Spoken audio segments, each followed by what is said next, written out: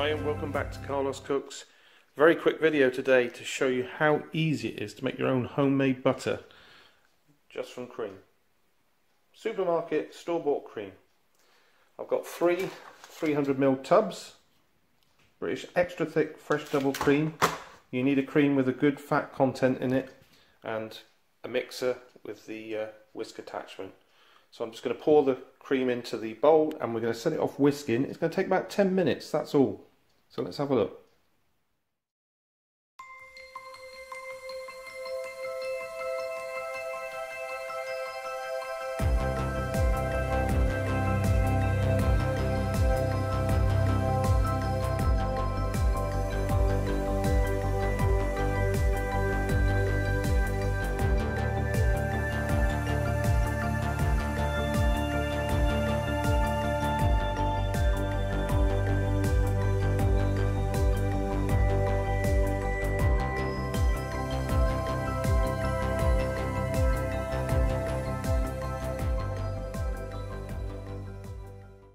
Several points you'll notice that the cream starts to thicken up as it whips and it'll start to climb the sides of the bowl.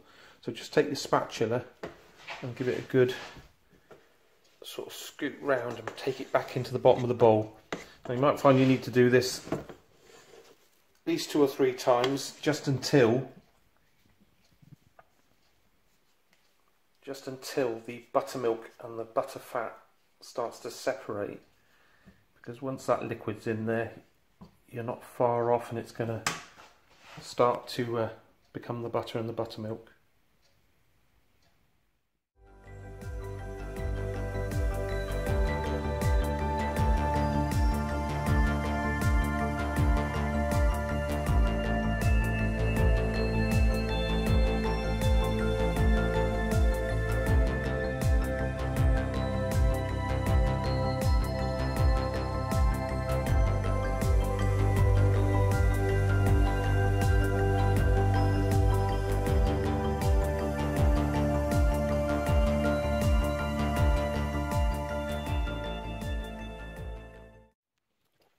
Okay, so after about 10 minutes mixing, you'll notice that you get complete separation of all the butterfat and the buttermilk.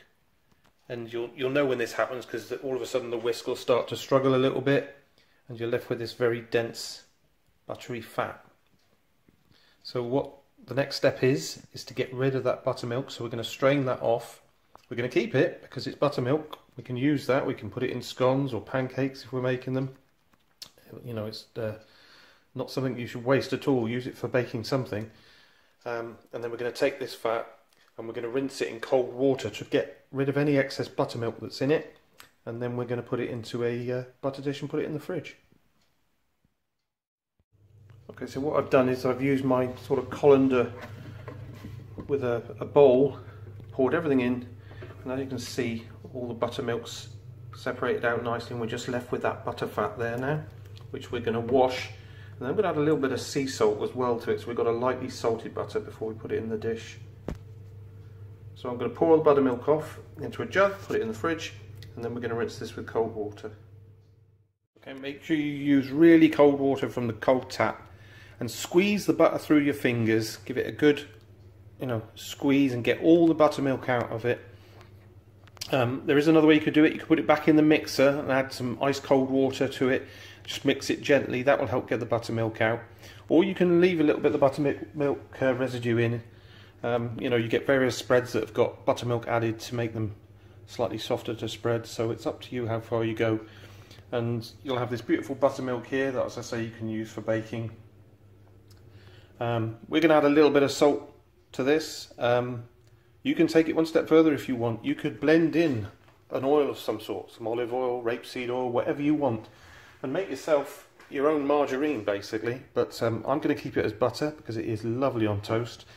Um, so I'm just going to put that back in the mixer now and mix a little bit of sea salt in.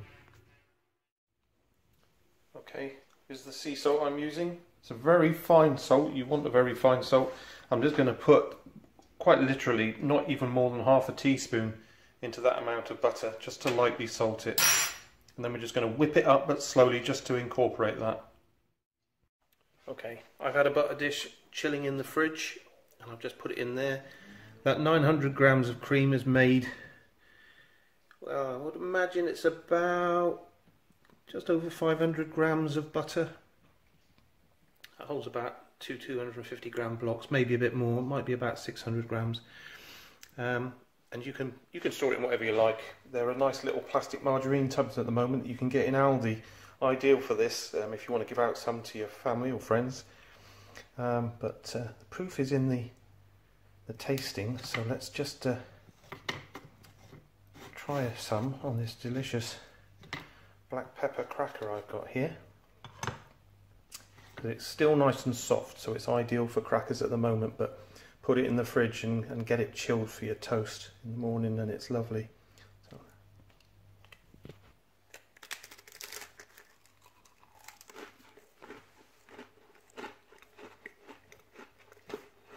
Mm.